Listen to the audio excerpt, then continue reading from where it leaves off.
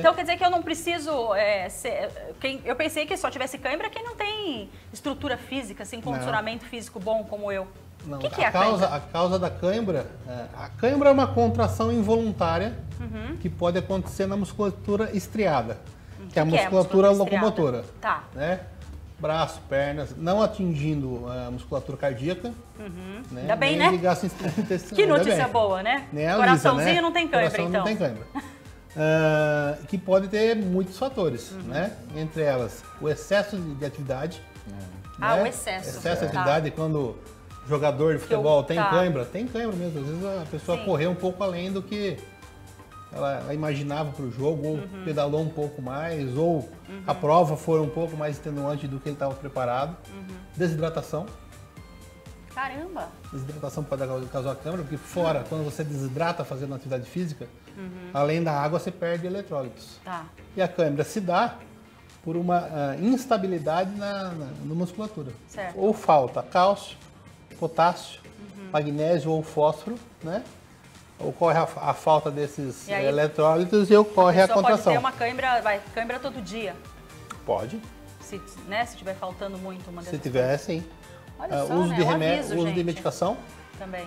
depende do- do- da medicação que a pessoa usa. Aham. Às vezes ela perde o- os eletrólitos. Você aí de casa participa com a gente, ó, os nossos dois assuntos de hoje, a cãibra e também o ciclismo, tá? Então pode participar, manda foto da tua, da tua magrela aí, manda suas dúvidas, aproveita você que tem bastante cãibra, o que, que você faz na hora da cãibra, conta pra gente, eu vou perguntar pro doutor aqui se dá certo, se não dá certo, tá?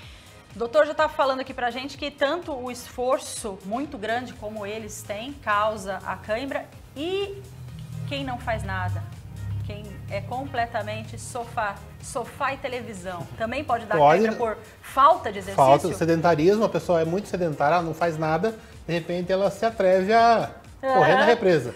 Pode ter cãibra. Artista por um dia, É. né? É, esportista por Isso, um dia. nunca fez abdominal, vai lá, não vou fazer 50 abdominal, pode ter câimbras. O, o sedentarismo, que a pessoa não faz nada, de repente expõe a musculatura a um estresse muito grande, pode Ah. dar câimbra também. Doutor, vamos ali no nosso telão para mostrar o nosso corpício? Dá licença, meninos, um Vontade. pouquinho.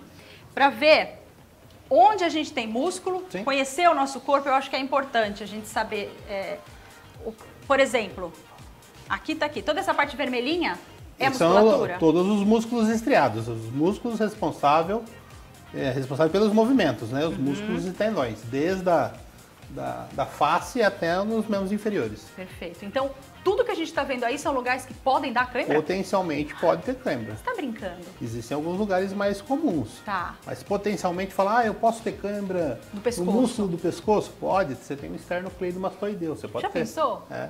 Aqui. Na barriga, os músculos, o músculo reto Mas que abdominal. engraçado, sempre que eu tenho cãibra, eu tenho cãibra na batata da perna. É o mais comum. É o mais comum? É o mais comum. Ai, que bom. Musculatura da panturrilha, gastrocnêmio, que são esses dois. É, dependendo às vezes do salto que eu ponho, ela dá uma É, torcida. E por que que aqui é a região mais comum? É o, o que usa mais para fazer o impulso, né? Para Tá. a gente andar. O principal músculo de, que faz a ele propulsão que para a gente preparado, andar. então, doutor, já que a gente usa ele Deveria, bastante? sim, deve- não, mas o- depende como que a gente usa, né? Tá. Uma, uma coisa é a gente usar no nosso dia a dia, no trabalho, uma coisa é você querer, que nem a gente está falando de sedentarismo, praticar uma atividade física, né? Então, são, São coisas são formas Uhum. diferentes. diferentes de utilizar. Tá. Às vezes a pessoa fala, ah, não, mas eu ando um monte no meu trabalho, o senhor está mandando eu caminhar. Uhum. Não, andar no trabalho é uma coisa, praticar atividade física é outra. Entendi. O ideal para uma pessoa que sofre com isso, vai, porque a gente tem gente que tem esporadicamente, né? Eu tenho esporadicamente.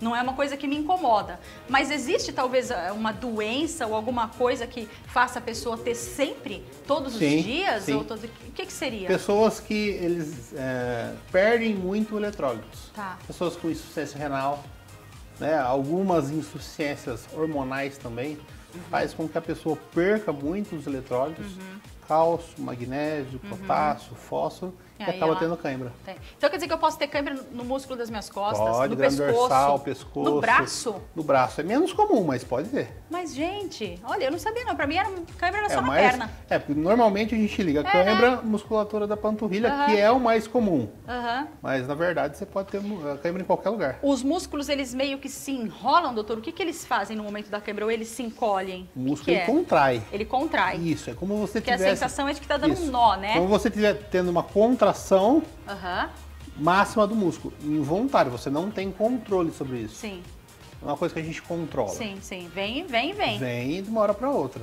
Depois, no outro bloco, o Dr. Roberto vai explicar pra gente o que, que a gente tem que fazer na hora da cãibra, né? Meu avô passava álcool, esfregava assim, ó, até esquentar. Será que isso dá certo? O que, que você faz aí na hora que você... Pode chamar o WhatsApp já? Então pode pôr, ó, já tem gente participando com a gente.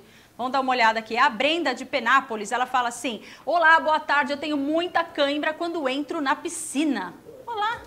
Valeu, Brenda. Obrigada pela participação. Sabe por quê, doutor? Pelo exercício que ela faz. Provavelmente ela não está habituada. Na hora que você entra na piscina, ah, você acaba tendo que acionar toda a musculatura, né? E ela acaba tendo cãibra. Mas, né? gente, É. não tem nada a ver com água gelada. Não tem nada a ver com água gelada, quente, não. Não, não. Nada a ver com a água Tá. em si. Tudo É, bem, se a água estiver exercício. muito Nossa, Mas uma gelada, cãibra de- dentro da piscina deve ser horrível, ela né, contrai, gente? ela Fala contrai os vasos sanguíneos e dá um aporte menor de sangue para a musculatura. Pode ser isso? Pode, Uhum. mas na, na nata, quem faz, quem nada, né, faz Aham, natação, aham. tem muita cãibra, mas por, Mas olha, por atividade porque você tá por, fora da água, você se, você se mexe, você vira o pé, tudo agora dentro da água deve ser terrível, né? Ah, não deve ser muito fácil, não.